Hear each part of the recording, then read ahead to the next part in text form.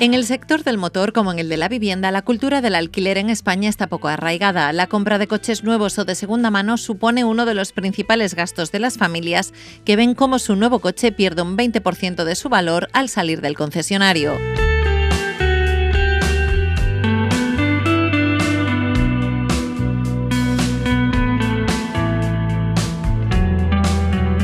El renting de coches ofrece numerosas ventajas. Todos los costes derivados del uso del vehículo, como matriculación, seguro, mantenimiento, reparaciones y cambio de neumáticos, están cubiertos, lo que permite un ahorro significativo en gestiones y trámites.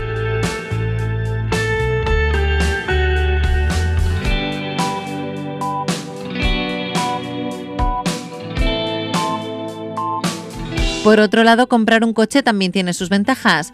El vehículo es de propiedad del comprador, lo que permite amortizarlo durante años y personalizarlo según sus gustos y necesidades.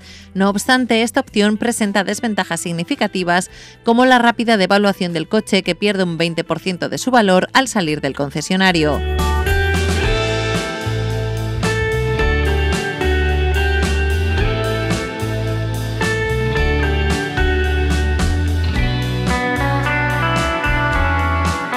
La mejor opción entre comprar y optar por el renting depende de las necesidades y situación financiera del usuario o empresa. Con la creciente oferta y flexibilidad del renting, cada vez más personas y empresas en España están considerando esta opción como una alternativa viable a la compra tradicional de vehículos.